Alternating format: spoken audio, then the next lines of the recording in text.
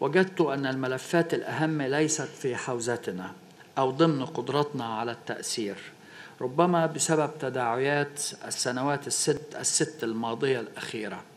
فنحن نتابع عن كثب الأزمة السورية دون وسيلة حقيقية للتدخل مع أطراف أخرى فاعلة تتصدى لصياغة مستقبل سوريا دون إسهام عربي حقيقي.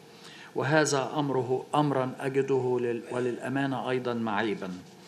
ورغم تعقيد الموقف الخاص بليبيا وأزمتها فقد سعيت إلى وضع الجامعة مجددا في موقف متقدم يسمح لها باستجابة أفضل لنداءات كافة الأشقاء الليبيين الذين يتطلعون بأمل إلى إنهاء فصول أزمتهم المستمرة بدعم ومساندة من الجامعة.